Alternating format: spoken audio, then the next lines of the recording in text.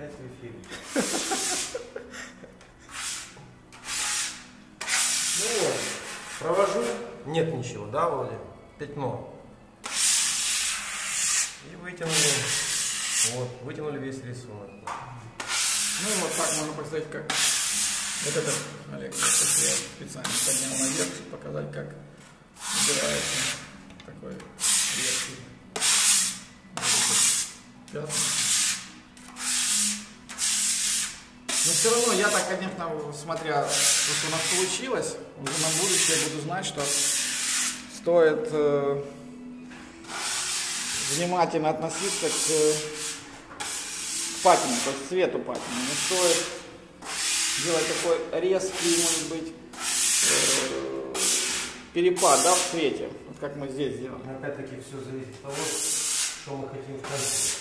Ну, понятно, понятно. То есть мы вообще планировали, что здесь будет сначала темненький, потом будет еще светленький. Вот. И хотя вроде мы им загрунтовали стенку, все равно у нас получилось немножко ну, так, Разноколорная. Да, да, да, да, да. Особенно вот эти вот пер- перепады. Но сейчас я вам покажу, как это можно исправить. Специально я подниму. Сейчас возьму материальчик. Лека, ты пока потихоньку его за... ну, пройдись чуть дальше. Или подожди, пока сейчас принесу расскажу там, Ваня. Прошу рассказать.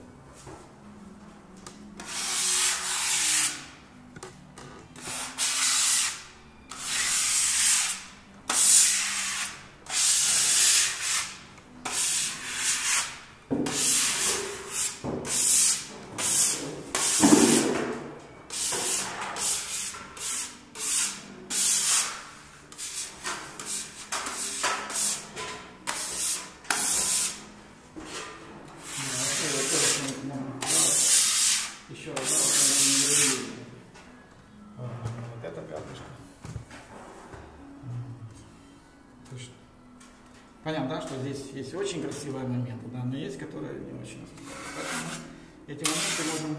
Скажи, если ты перекрываешь этой Да, же патиной. же патины, да, вот, которую мы делали, которые на основе обойного клея, об- э, клея ПВА и добавлением стартовой шпаклевки Еркомовской соотношение где-то 1 к 6.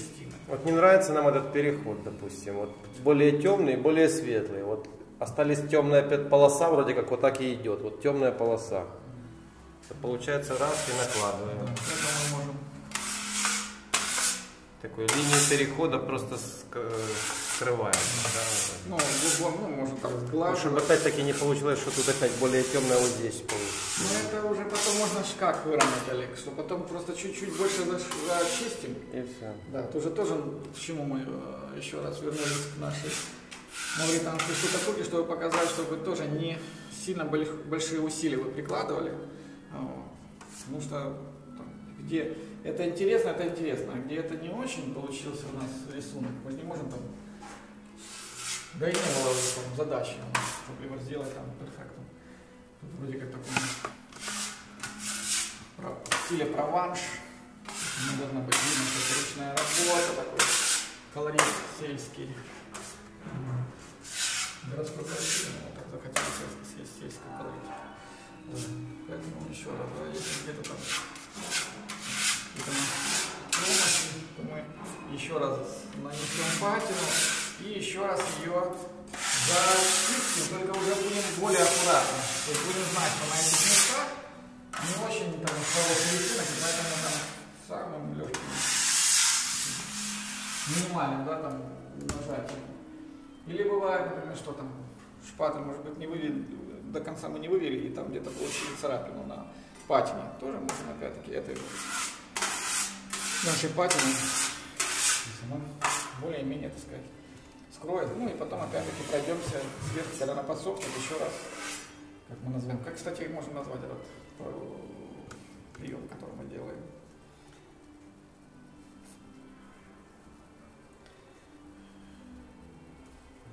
Что-то именно с... Шлифовка, не Не, шлифовка. нет, там или проявление, про... знаешь, как в фото э, работах это проявка называется. А у нас это будет